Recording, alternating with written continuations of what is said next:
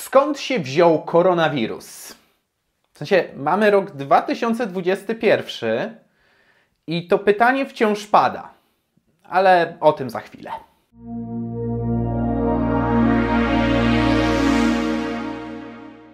Ale zaczynamy od kwestii związanej z dużymi korporacjami, które zwróciły się do Unii Europejskiej w sprawie produkcji aut spalinowych. Bowiem firmy takie jak Volvo czy bardzo związana z motoryzacją IKEA, albo jeszcze bardziej związana z motoryzacją Coca-Cola, zażądały, aby Unia wprowadziła przepisy, które do 2030 roku miały wyrugować pojazdy spalinowe z produkcji. Korporacje oczywiście tłumaczą tę inicjatywę potrzebą no, uzieleniania Europy, zmniejszania emisyjności i co prawda stoją za tym pewne dane, ale też nie powiedziałbym, że to jest taki proces zupełnie naturalny, ale po kolei. Najpierw jakie są argumenty za tym, żeby przeprowadzić taką procedurę? Otóż samochody spalinowe są odpowiedzialne za 15% ogólnej emisji CO2 tutaj w Europie, ale przede wszystkim za 26%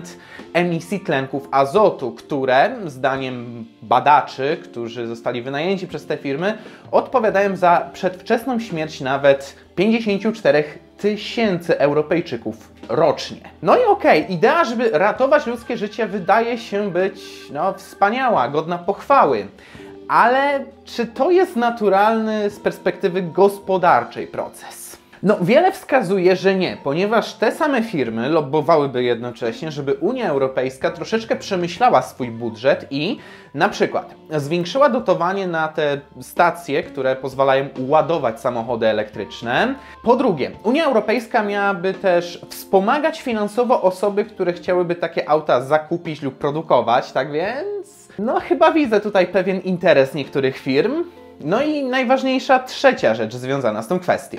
Firmom ma tutaj bowiem zależeć na tym, aby jak najmocniej zgrać się z tymi europejskimi zapowiedziami o tym, że będziemy rugować właśnie emisję, produkcję węglową itd., tak itd. Tak I powiem tak, z jednej strony jasne, może nam to wyjść na zdrowie, ale z drugiej strony zastanawiam się, czy ci szefowie tych korporacji w ogóle zastanawiają się, skąd się bierze wciąż większość prądu tutaj w Europie. Bo jeżeli jednocześnie chcemy ograniczać emisyjność w ramach produkcji samochodów niespalinowych, to musimy brać pod uwagę, że musimy wytworzyć zwiększone ilości prądu. A prawda jest taka, że Europa, szczególnie pod wpływem Niemiec, wycofuje się ostatnio z atomu i stawia na produkcję energii, która jest raczej emisyjna. Bowiem słyszymy, że właśnie kończy się budowa Nord Stream 2. Słyszymy, że no właśnie pod wpływem Niemiec wiele krajów się wycofuje z atomu, a tymczasem Niemcy wiedzą, że jeżeli wycofają się z atomu, no to będzie można ten gaz pozyskany od Rosjan sprzedać wtedy z nawiązką. Tak więc z perspektywy gospodarczej wygląda to na takie, no niby skomplikowane domino, ale można się tutaj doszukać interesów tak tych korporacji, które za tym lobbują,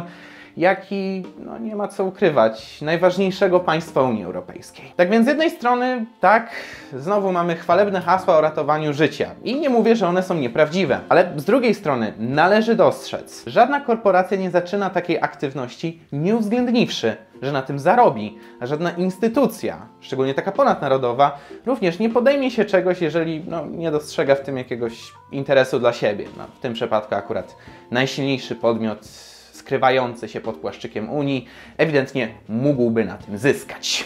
Ale jeszcze pozostając w temacie Unii Europejskiej, no to słyszymy, że Unia ma teraz poważnie wziąć się za Facebooka. I znowu przypomnę, na początku roku informowałem o tym, że Amerykanie szczególnie mocno wzięli się za Facebooka, jednakże u nich powodem były kwestie podatkowe. No to znaczy Facebook po prostu tam uciekał do rajów podatkowych, nie płacił kasy, skarbowa się wkurzyła. W Europie chodzi jednak o monopolizację rynku, szczególnie monopolizację rynku handlu cyfrowego i pozycjonowania reklam w internecie.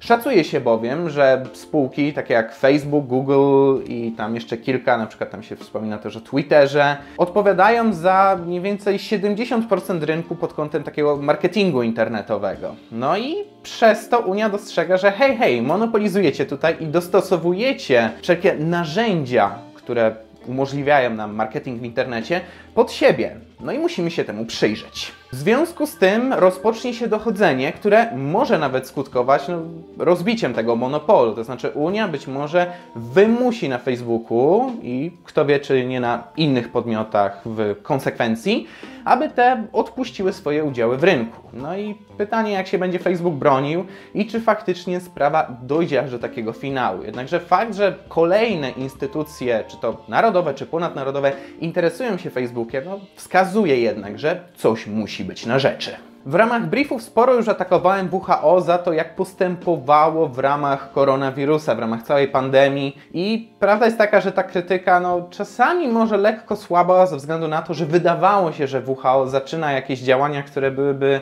bardziej racjonalne i mniej takie kubusiowo-puchatkowe, ale z drugiej strony no, tak, oni bez przerwy też potrafią się łatwo podminować i mamy na to kolejne dowody. Otóż niedawno mieliśmy do czynienia z tą słynną telekonferencją, taką rozmową, gdzie e, jeden z przedstawicieli WHO rozmawiał z dziennikarką i kiedy ta zapytała go o kwestię Tajwanu w ramach walki z koronawirusem, to ten najpierw udał, że zerwał mu połączenie, później się tam rozłączył, no i potem udawał, że nie wie o co chodzi z tym Tajwanem i gadał dalej o Chinach. Because, because I'm, I'm actually curious on talking about Taiwan as well, on Taiwan's case.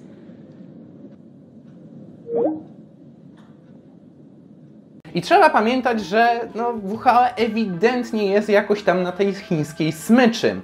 I no, wydaje się, że mamy na to też potwierdzenie ze względu na to, że WHO w pewnym momencie prowadziło takie badania w Chinach, które miały udowodnić, że Chiny tak naprawdę nie odpowiadają za początek tej pandemii. I temat trochę wraca, ale na całe szczęście w pozytywniejszym wydaniu. Chodzi bowiem o to, że grupa no, wybitnych badaczy z Wielkiej Brytanii i Norwegii rozpoczęła dokładniejsze badania koronawirusa. No i wiele wskazuje na to, że wirus musiał być sztucznie stworzony. Według tych badań takie kolce, którymi koronawirus się tak wbija w ludzkie komórki, ja przepraszam, ja, ja nie jestem biologiem, ja, ja, się nie znam na nazewnictwie, wykazuje bardzo wiele cech ingerencji ludzkiej, co miałoby wskazywać, że no, został on wytworzony w laboratorium i po prostu uciekł. Raport, który został przygotowany przez badaczy, nie jest jeszcze w całości opublikowany, ale tego, do czego już doszli dziennikarze, dowiadujemy się na przykład, że wirus był specjalnie przygotowany pod to, żeby być bardziej zaraźliwym. To jest taka taktyka stosowana przez a to armia, a to badaczy na garnuszku rządu, aby no, szybciej stestować takiego wirusa. Znaczy, wiecie, jeżeli on się szybciej przenosi, szybciej zaraża, no to też szybciej dowiemy się, jakie są tego skutki, prawda? Taką taktykę w ostatniej dekadzie stosowało USA i Chiny, tylko USA w 15 albo w 16 roku się z tego procederu wycofała, stwierdzając, że jest to zbyt groźne. Natomiast Chińczycy ponoć stwierdzili, że też się wycofują, ale no, no potem mieliśmy pandemię, nie? Innymi słowy, no mamy coraz więcej takich naukowych dowodów na to, że wirus był modyfikowany sztucznie i że wydostał się z laboratorium, bo no, ktoś tam albo spartolił procedurę, albo kto wie, być może to było działanie celowe. No, o tym już ciężko przesądzić. Tak czy inaczej, jeżeli WHO dalej będzie twierdziło, że nie, nie, no to, to, to, się nie zdarzyło w Chinach, to mam nadzieję, że świat naukowy nadal będzie publikował takie informacje, które jasno ukazują. To nie jest wirus, który powstał tak naturalnie. To jest wirus, który no, no jest po prostu sztucznie przez kogoś stworzony i ktoś za niego chyba odpowiada. A jeszcze pozostając przy kwestii Chin, to dowiedzieliśmy się niedawno, że y, skrzydło 16 samolotów wojskowych Chin naruszyło przestrzeń powietrzną kilku krajów, w tym Malezji. No i mamy teraz dramat, kryzys polityczny na Dalekim Wschodzie. Malezyjczycy szczególnie są oburzeni tą sytuacją, ponieważ rozumieją, jak wygląda teraz sytuacja międzynarodowa w tamtym regionie. To znaczy, Chiny wysuwają wobec nich żądania terytorialne, jak zresztą do masy tych wyspiarskich terytoriów, które są tam dookoła Chin, ponieważ Chińczycy już od dłuższego czasu przejawiają coraz większe ambicje terytorialne w regionie Dalekiego Wschodu. No i są wściekli, że tam zbyt duże wpływy mają Amerykanie, którzy, okazuje się, nie będą chcieli tych wpływów tak łatwo odpuścić. Dowiedzieliśmy się bowiem od Amerykanów, że ci zmieniają paradygmat podejścia do sprawy chińskiej. Jeszcze w czasach rządów Trumpa wiedzieliśmy o tym, że no, oni co prawda nie ufają Chińczykom, ale chcą też z nimi współpracować, chcą jakoś tak dyplomatycznie rozwiązywać pewne kwestie, ale nowy prezydent oznacza też nowe podejście bardzo często. No i tutaj dowiedzieliśmy się tam od jednego z rzeczników, że no, Chińczykom nie odpuścimy i będziemy tam na nich coraz bardziej naciskać. Podstawą tej polityki mają być przede wszystkim sojusznicy amerykańscy znajdujący się w tamtym regionie. Mowa tutaj o Japonii, o Korei, czy nawet o współpracy z Indiami, która mogłaby skorzystać na dealach z amerykańską siłą wojskową, w sensie z armią, która sprzeda im broni. Tak więc, no, ewidentnie narasta tam teraz napięcie. Sprawa rozgrywa się na co najmniej dwóch płaszczyznach. Po pierwsze, Amerykanie chcą powstrzymać rozprzestrzenianie się terytorialne Chin, to jest oczywiste, ale po drugie, co jest w sumie bardzo ciekawe, prezydent Biden bardzo mocno chce się dowiedzieć, skąd się wziął koronawirus. No ja mówiłem na początku, że to będzie temat, który się tutaj będzie często przewijał. Bowiem Biden, jak można go za wiele rzeczy krytykować, tak tutaj można go pochwalić, no stwierdza, że no moment, wy uprawiacie tutaj jakąś paskudną propagandę i trzeba, no, jeżeli nie dacie się pociągnąć za język, to trzeba tam butem przycisnąć. Tylko pojawia się pytanie, czy to jest zupełnie racjonalna polityka. Bo również przypomnę, w poprzednich briefach informowałem o tym, że po pierwsze, chińska armia już niejednokrotnie w ostatnim roku była stawiana w stan gotowości. Po drugie, Chińczycy też powiedzieli, że nie odpuszczą, więc jeżeli oba mocarstwa będą chciały naciskać, to możemy się spodziewać coraz większych napięć i nie skończy się tylko na przelocie 16 samolotów nad terytorium innego kraju. Ale jest jeszcze taka kwestia wojny gospodarczej. Amerykański prezydent bowiem zdecydował, że zakazuje inwestowania w chińskie podmioty, które zajmują się produkcją wojskową albo taką cyfrowo-szpiegowską. To znaczy, mówimy tutaj na przykład o technologiach, które są teraz szeroko testowane w Xinjiang, czyli w tej prowincji, gdzie żyją Ujgurzy, którzy to są poddawani ciągłej inwigilacji, gdzie tam szczególnie mocno na przykład testuje się teraz ten system kamer, który rozpoznaje emocje tamtejszych mieszkańców. W związku z tym można zrozumieć tutaj taki aspekt bezpieczeństwa. Amerykanie chcą powstrzymać Chińczyków przed rozwijaniem tych technologii przez ucięcie im przynajmniej części funduszy. Tylko z drugiej strony, takie zerwanie po prostu stosunków z Chinami również Amerykanom się nie opłaci. Trzeba pamiętać, że to jest kraj pogrążony jednak teraz w kryzysie, który od lat wykazuje rekordowe deficyty handlowe i który nie może tak po prostu odpuścić sobie Chin jako partnera handlowego, bo, bo trzeba przyznać, eksportują wciąż tani staw. Tak więc, czy Amerykanie faktycznie wytrzymają w tej swojej surowej polityce, to jest zupełnie inne pytanie.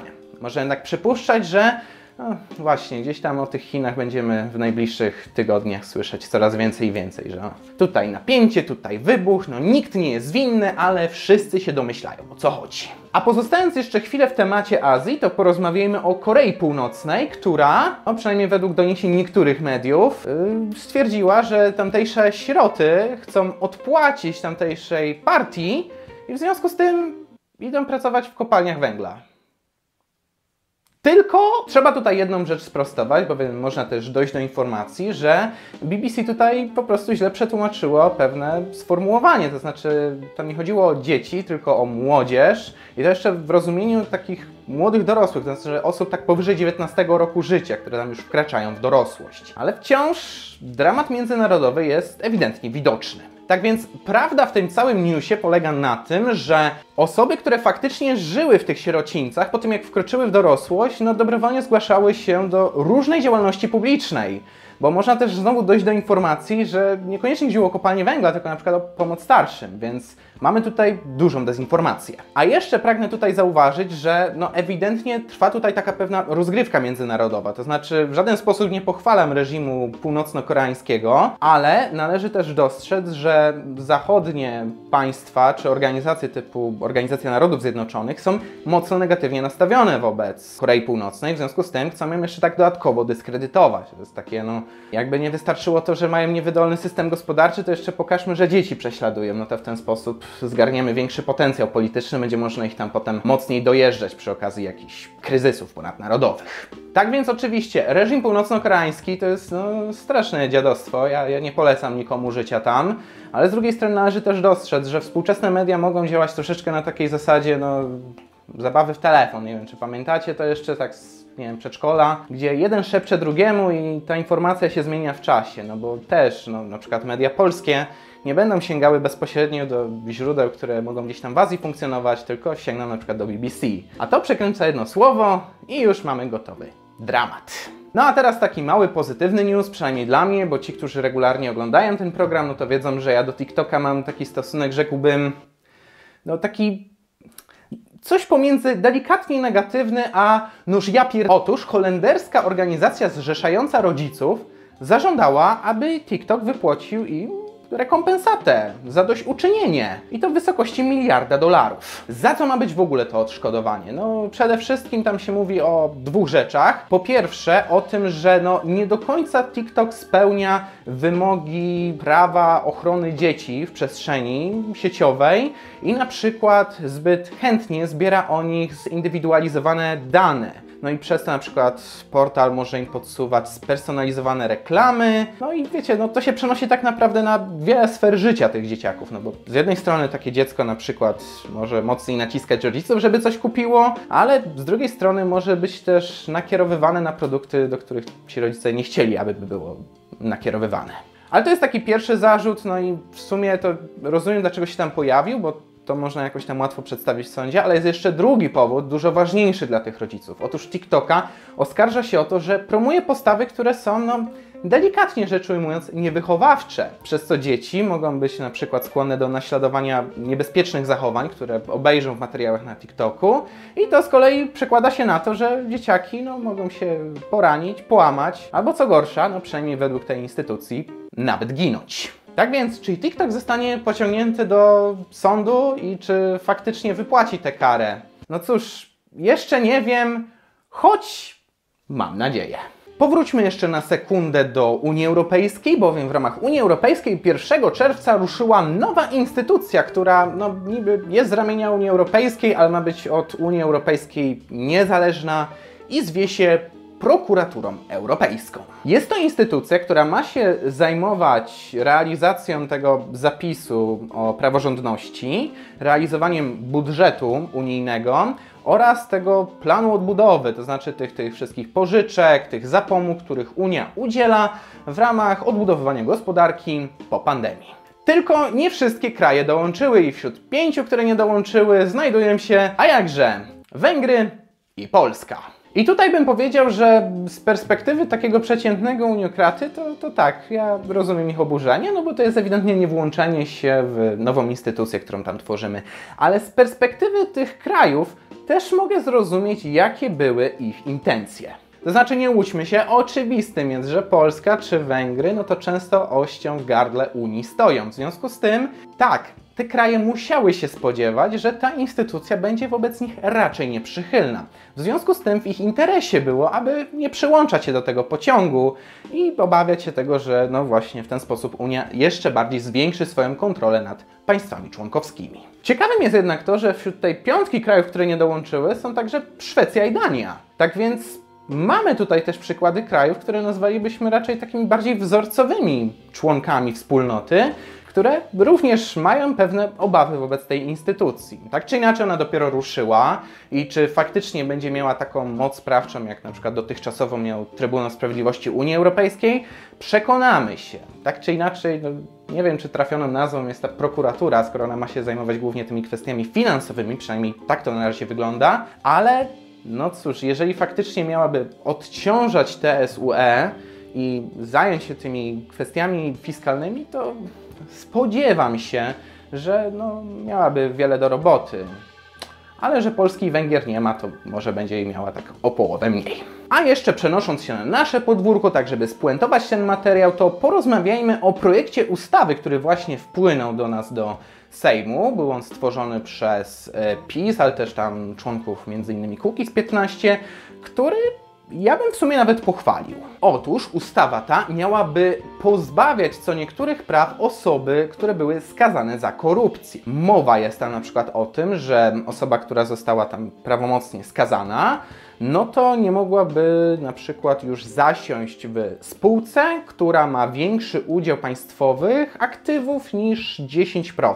Czyli jeżeli mamy spółkę, która ma tam 9,9, no to jeszcze ok, ale jak już ma 10, no to nie, do końca życia tobie nie wolno. Dodatkowo uniemożliwiałaby pełnienie niektórych funkcji publicznej oraz wprowadzałaby taki twardy rozdział, chociaż mam wrażenie, ale musiałby mnie ktoś skorygować, że takie coś już istniało pomiędzy pełnieniem funkcji posła, a właśnie byciem członkiem takiej spółki, albo pełnieniem funkcji jakiegoś lokalnego polityka, czy tak nie wiem, burmistrza, prezydenta miasta i znowu zasiadania w takich spółkach. No cóż, no, z drugiej strony to jest polskie prawo, więc nie dziwię się, jeżeli uchwalili dwa razy to samo. Tak czy inaczej, na papierze wygląda to wspaniale i jeżeli byłoby stosowane w sposób taki faktycznie sprawiedliwy przez sądy, które są niezawisłe, no to dwa kciuki w górę i do przodu. Ale pamiętajmy, że żyjemy w Polsce. Pamiętajmy, że tutaj sądy byłyby raczej bardziej przymilne wobec co niektórych posłów, co niektórych ugrupowań. Także mam wrażenie, że będą te przepisy, które na papierze wyglądają fajnie, ale przez to, jak wygląda nasz system, przez to, jak wygląda nasze sądownictwo, spodziewam się, że raczej byłyby to przepisy nadużywane, które w ostateczności doprowadzają do tego, że mamy takich równych i równiejszych. A kto jest równy, kto równiejszy, to już zależy, kto wygrał ostatnie wybory. No i to tyle na ten tydzień. Pięknie dziękuję Wam za wysłuchanie. Cóż mogę powiedzieć? Zbliża się koniec pewnej epoki. I nie, nie chodzi mi tutaj o konflikt w Chinach, nie chodzi mi tutaj o to, jak się zmieni Unia Europejska. Proszę Państwa, za dwa miesiące zamkną naszą klasę. To jest news, który powinien nas wszystkich wprowadzić w prawdziwą zadumę. A my się słyszymy za tydzień. Wielkie dzięki za obejrzenie tego materiału. Jak zwykle zachęcam Was do lajkowania, komentowania i subskrybowania. A jeśli pragniecie, aby kanał dalej się rozwijał, to zachęcam Was do wsparcia go na Patronite. Widzimy się już wkrótce.